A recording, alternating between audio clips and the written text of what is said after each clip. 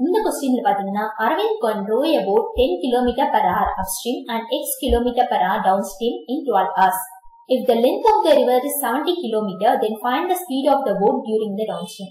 அதாவது கொஸ்டின்ல அரவிந்த்ங்கிறவர் ஒரு ரிவர் 70 கிலோமீட்டர் லென்த்ல இருக்கு அதுல அப்ஸ்ட்ரீம்ல மேல் நோக்கி போகும்போது டென் கிலோமீட்டரும் டவுன் ஸ்ட்ரீம்ல போகும்போது டுவெல் ஹார்ஸ்ல டவுன் ஸ்ட்ரீம்ல எக்ஸ் கிலோமீட்டர்னு போயிட்டு இருக்காரு இப்ப speed of the boat during the downstream என்னன்னு கேட்டுருவாங்க. ஸோ தட் அவர் மேல வந்து டென் கிலோமீட்டர்ல போறாரு கீழே எவ்வளவு கிலோமீட்டர்னு தெரியல பட் ரெண்டு டிஸ்டன்ஸையும் ஆட் பண்ணும்போது எனக்கு டுவெல் ஹவர்ஸ்ல போய் சேர்ந்து வந்துடுறாரு.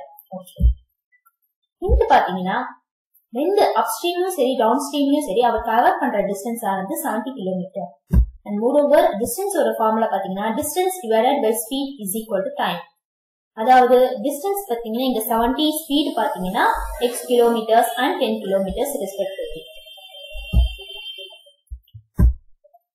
இந்த சொல்யூஷன் பாருங்க. அப்ஸ்ட்ரீம்ல பாத்தீங்கன்னா அவர் செவன்டி கிலோமீட்டர் டிஸ்டன்ஸ் டிராவல் பண்றாரு. அவரோட ஸ்பீட் பாத்தீங்கன்னா டென் கிலோமீட்டர் பர் ஹார்னு இருக்க போகுது.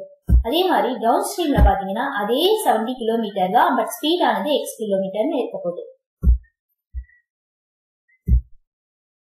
இப்ப நம்மளோட formula distance by speed is equal to time taker so that இங்க டிஸ்டன்ஸ் பாத்தீங்கன்னா செவன்டி கிலோமீட்டர் ஸ்பீட் பாத்தீங்கன்னா அப்ஸ்ட்ரீம்ல டென் அண்ட் டவுன் ஸ்ட்ரீம்ல எக்ஸ் சோ தட் இந்த ரெண்டு டிஸ்டன்ஸையும் ஆட் பண்ணா எனக்கு டுவெல் ஹவர்ஸ் கிடைக்க போகுது.